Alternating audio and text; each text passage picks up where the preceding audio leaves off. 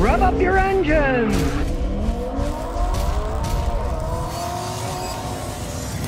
Eifert Flanagan says, I bought a used car two weeks ago. I got a 2005 Nissan. I had a car accident because the wheel fell off and I was almost killed. My three year old daughter in the car and my 64 year old mother. Can you help me? Well, there's nothing I can do about it now, but I can help all you people out there watching this before you buy a used car have a mechanic like me check it out. I say this over and over again, but it's extremely important because you can't trust anybody selling a used car. As a mechanic, when I check out a car for somebody, I do my computer scan, I drive it around, I see how it rides. I don't know why your wheel fell off. Maybe it was something as stupid as they didn't tighten the lug nuts up, right? Well, I would feel when I'm road testing cars that there's something wrong. I'd jack up the suspension, I'd pull on the wheel, say it's loose, and say, hey, it needs to be tightened. I'd tighten it up, right?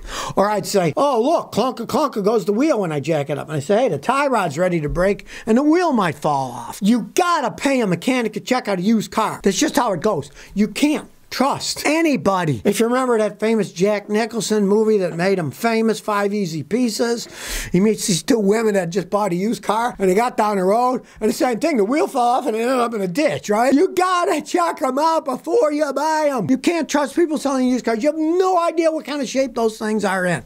No, a new car, you have to worry about it because if they didn't build it right, hey, you can sue the manufacturer for not building it right, right? But you're buying a used car, it always says as is, no warranty, right? On the other hand, if you want help for me, get a lawyer. The wheel fell off two weeks after you bought it. That's a pre-existing condition, you know? So get a lawyer, see what he can do about that. Jamie says, How many miles driving a car is too much? All right, well, interesting question, right? Depends on the car or how you drive it. Now, realize one thing highway driving is equivalent to 10% stop and go city driving.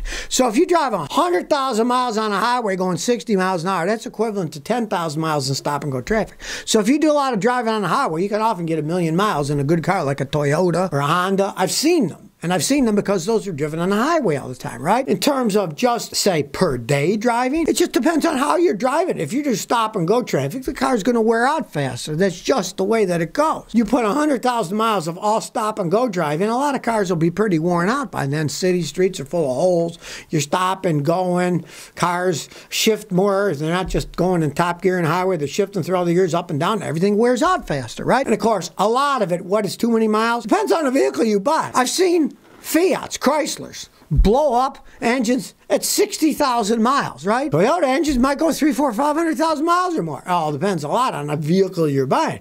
Some can take it, some can't take it. Take the old Crown Victorias. Ford sold. Panther bodies, full frame. Not the greatest gas mileage, but on a highway you might have gotten 21, 22 miles ago. And those things can run forever. The big V8 engine just purring along. And of course, if you've got a smaller engine with a turbocharger, it won't go as many miles because it will wear out faster. The simpler the vehicle you have, generally, the longer it's going to last, if it's quality made. Rocker says, I got a delay in my transmission. I got a four second delay in my automatic transmission when I shifted to drive. 2016 Mazda 6. I replaced the valve body, changed the transmission fluid. The dealers didn't find anything and they said I'd change the whole tranny. What should I do? You only got 65,000 miles on it. It should last longer than that. Two, saying you need a new transmission just because there's a delay. A lot of times they get older, they will do that. Now you change the fluid and stuff. There's really nothing else you can do about that. As long as it goes. Personally, if I were you, I would drive it. I've had customers with Mazdas that did that. Four years later, they still did that. And they still drove down the road okay. Don't spend money you don't have to. If it goes okay otherwise, live with it. I wouldn't even do anything about it. I've got many customers that would do that, and here's a trick you might find. Start it up and park right, then put it in reverse first, and then put it in drive.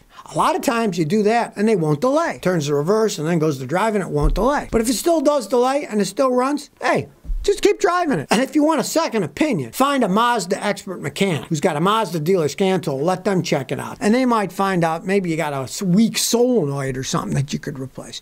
You never know. But there's no way I'd replace the whole transmission with a vehicle that's got 65,000 miles on it. And it should not have worn out that fast. Even with a Mazda, it shouldn't wear out that fast. Like I say, I've had customers Mazdas for five years. They drove them that way. They still went down the road. They said, the heck with it. I just live with it. Rick Neff says, my radio and amp are running my battery down. Down. I got an 06 Cadillac CTS. I found the drain was in the radio. I couldn't find a factory radio, so I bought one from eBay, so it's used. And it still drains the battery. I don't mind paying for BCM RECM, but if it doesn't fix it, then I'd waste money. Can you give me any assistance in this situation without an expensive program like a Tech 2? Thanks. You got the wrong vehicle, baby. You got a Cadillac CTS. You have to have a Tech 2 if you're going to work on those systems.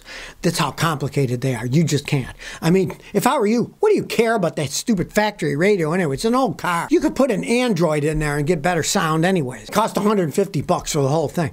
You're trying to fix an overly complex system that is broken down.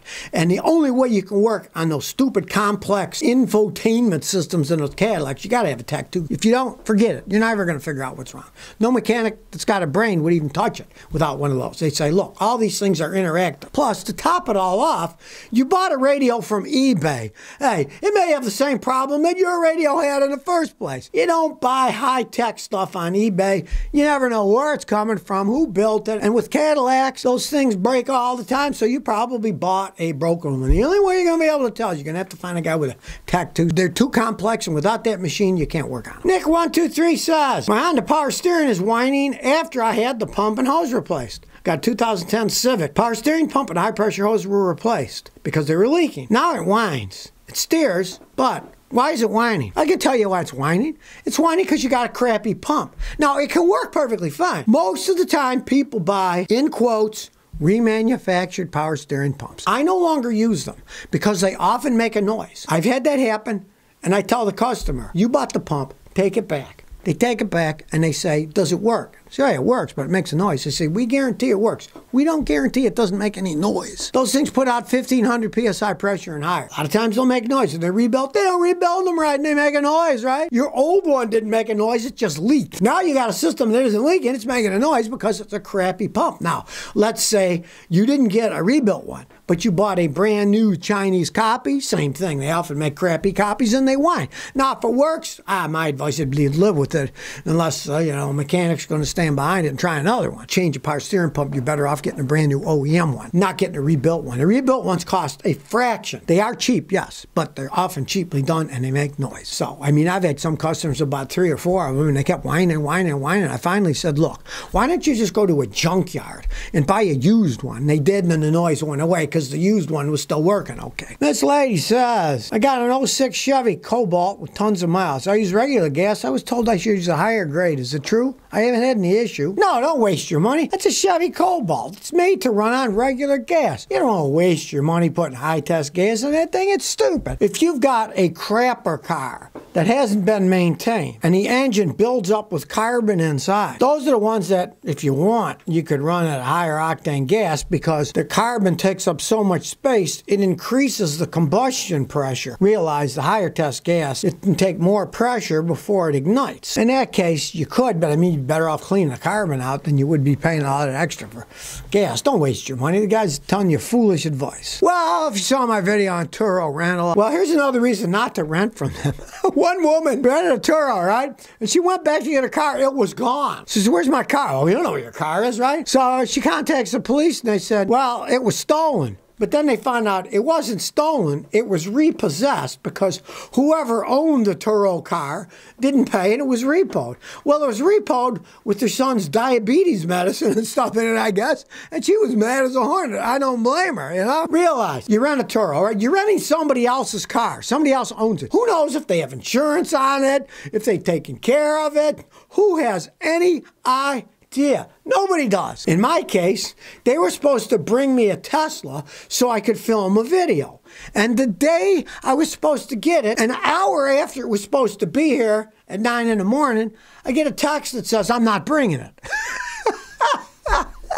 so I said, this Turo stuff was a bunch of nonsense.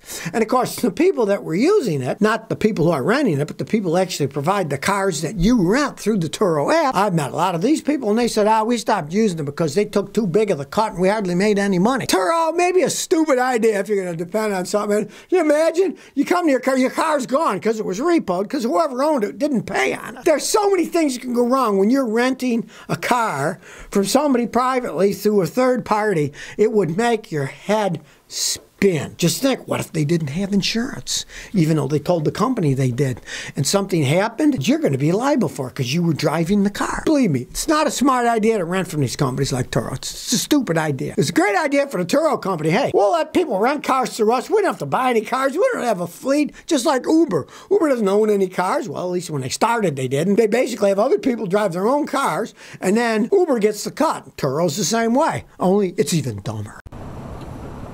So if you never want to miss another one of my new car repair videos, remember to ring that bell.